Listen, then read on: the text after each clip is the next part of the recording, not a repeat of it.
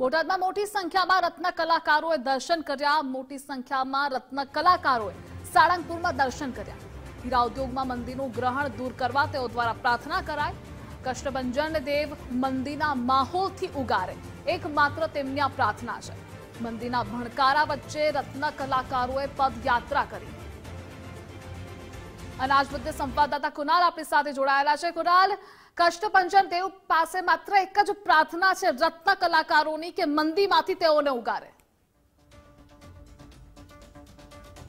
વિશે જો વાત કરીએ તો શ્રદ્ધા કા દૂસરા નામ એટલે સાળંગપુર ધામ અને આ સાળંગપુર ધામ ખાતે બોટાદ જિલ્લાના જે રત્ન કલાકારો છે તેઓ આ મંદિરના માહોલમાં પ્રસાર કરી રહ્યા છે ને તે મંદિરના માહોલમાંથી કષ્ટભંજન દાદા તેઓને ઉગારે તેવી પ્રાર્થના સાથે સીધા દ્રશ્યો જોઈ શકાય છે કે જે પ્રમાણે બોટાદથી સાળંગપુર સુધીની અગિયાર કિલોમીટરની આ પદયાત્રા કરી અને કષ્ટભંજન દાદાના સાનિધ્યમાં જે પ્રમાણે મંદિરનું જે ગ્રહણ લાગ્યું છે હીરા ઉદ્યોગને, તે મંદિરનું ગ્રહણને ઉગાડી લેવામાં આવે તેવી પ્રાર્થના સાથે અત્યારે વાત કરીએ તો સાળંગપુર ધામ ખાતે રત્ન કલાકારો છે તે, રત્ન કલાકારો સાળંગપુર ધામ કષ્ટભંજન દાદાના શરણે છે તે ચોક્કસથી અહીંયા નજરે પડી રહ્યા છે. જોઈ શકાય છે કે સમગ્ર જે કષ્ટભજન ધામ છે, તે ધામ રત્નકલાકારો ભાઈઓ છે, તેનાથી ઉમટી પડ્યું છે.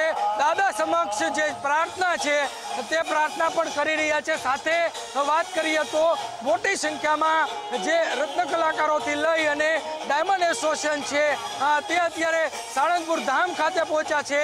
દાદા સમક્ષ મંદિરના ગ્રહણમાંથી ઉગારવાની જે પ્રાર્થના છે તે અત્યારે કરતા જોવા મળી રહ્યા છે. આપણી સાથે શંકરભાઈ છે કે જે જિલ્લા બોટાદ એસોસિએશન પ્રમુખ છે. તેમની સાથે વાત કરશું. શું કહેશો શંકરભાઈ? અહીંયા પહોંચ્યા છો, દાદા સમક્ષ પ્રાર્થના શું કેવું? દાદાને પ્રાર્થના કરવા બોટાદ જિલ્લા ડાયમંડ એસોસિએશને નક્કી કર્યું હતું. અને હાલ પચીસો થી સત્યાવીસો માણસો લઈ અને દાદાને ધજા ચડાવી દીધેલ હોય. દાદાને પ્રાર્થના કરી કે, હે કૃષ્ણભંજન દેવ હીરાવાળાને મંદિરમાંથી ઉગારો અને સમગ્ર વિશ્વમાં આખા જગતમાં શાંતિ સ્થાપો અને હવે સુખી સંપન્ન થઈને રહે એવી અમારી દાદાને પ્રાર્થના છે. આજે શનિવારનો દિવસ છે મોટી સંખ્યામાં ભક્તો અહીંયા પહોંચ્યા છે હીરા ઉદ્યોગકારો પહોંચ્યા છે રત્ન કલાકારો પહોંચ્યા છે. કેવો માહોલ છે? માહોલ જબરજસ્ત છે. તમે લાઈવ જોઈ શકો છો.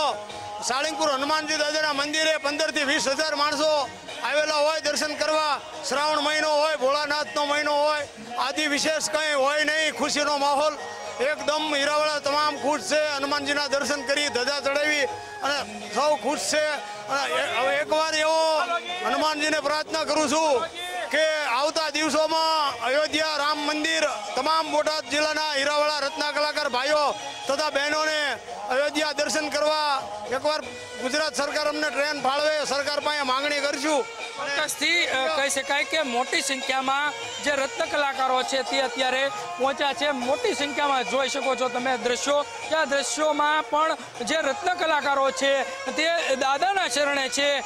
સન્મુખ હનુમાનજી મહારાજ પાસે મંદિરના ગ્રહણથી બચવા માટેની જે પ્રાર્થના છે તે કરી રહ્યા છે. નહીં માત્ર એક બોટાદ જિલ્લો, પરંતુ અન્ય જે જિલ્લાઓમાં હીરા ઉદ્યોગ જે છે તે હીરા ઉદ્યોગને જે પ્રમાણે મંદિરનું ગ્રહણ લાગ્યું છે ને આ મંદિરના ગ્રહણમાંથી દાદા જે છે, તે દાદા કહી શકાય કે ઉગારે તે પ્રકારની પ્રાર્થના છે. તે પ્રાર્થના સાથે અત્યારે મોટી સંખ્યામાં અહીંયા આગળ કષ્ટભંજન દાદાના સાનિધ્યમાં રત્ન કલાકારો છે. તે દાદા સમક્ષ સન્મુખ પ્રાર્થના કરવા માટે પહોંચ્યા છે ધ્રુવિશા. આ પ્રકારે અહીંયા આગળ જે માહોલ છે, તે માહોલ જોવા મળી રહ્યો છે. ધ્વજારોહણ છે, તે પણ કર્યું છે અને સાથે વાત કરીએ તો મોટી સંખ્યામાં અહીંયા નૃત્ય કલાકારો છે તે પહોંચ્યા છે જી માહિતી બદલ આભાર.